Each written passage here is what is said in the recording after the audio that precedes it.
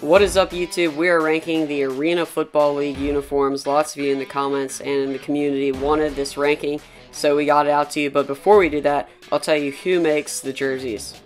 So guys, Phenom Elite is the manufacturer. They're a newer brand. They're younger.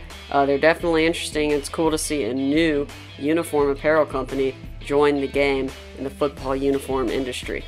At number six, the Albany Empire come in. If you look at these uniforms, uh, there, there's a lot screen printed on in the background, and I like the actual jersey, but the pants really throw me off.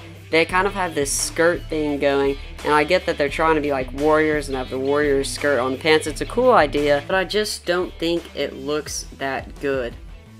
At number five, we have another team that used the sublimation. As you can see here, the Philadelphia Soul. Uh, they put a lot into these uniforms, and they're very loud with like the stripes. I'm just not totally a fan. I, I like these more basically because of the colors and then the helmets. I think the helmets look really cool. But um, yeah, the stripes on the pants uh, do kind of throw it off.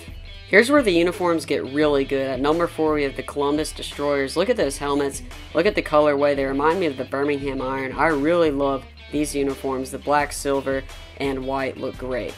At number three, we have the Atlantic City Blackjacks. These uniforms are awesome. Look at the font, look at the colors, everything about these are great. The black and the white and the red, and then you got gold accents. I think these look awesome. The logo looks great. I think Phenom Elite did an incredible job on these uniforms. At number two, I picked the Baltimore Brigade, and mostly because of that font. That font is really cool. The, no uh, the numbers look awesome. The colors are also great. But the Brigade have awesome font, uh, clean jersey, really clean, and uh, I love the Baltimore Brigade. Number one was pretty easy. We chose the Washington Valor. I mean, the red, white, and blue always looks great. You can't go wrong with it. And look at the numbers, the font, and then the shoulder stripe. I think these are excellent uniforms, and the helmet, everything looks great. I really love the Washington Valor. Let us know down in the comments section who you think has the best uniforms. I'm super pumped for uh, this year, and I, I think it's just cool that we have a new uniform company getting into the game.